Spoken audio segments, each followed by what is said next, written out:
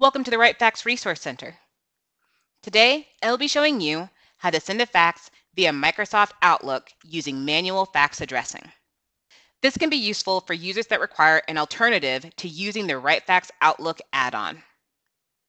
To begin, let's start in Microsoft Outlook. From the top ribbon, click the New Email button. To send a fax, you will need to use one of two supported addressing formats. The fax addressing format allows entry of a recipient's name and fax number only.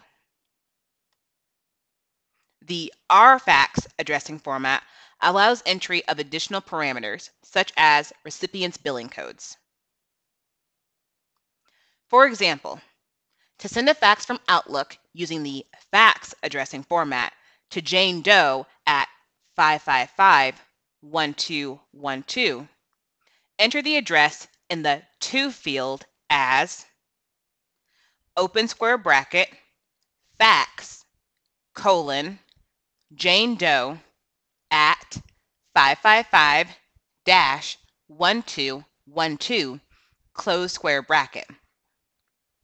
To send a fax using the RFax addressing format, enter the address in the To field as open square bracket R rfax colon Jane Doe at forward slash fn equals 555 dash 1212 close square bracket.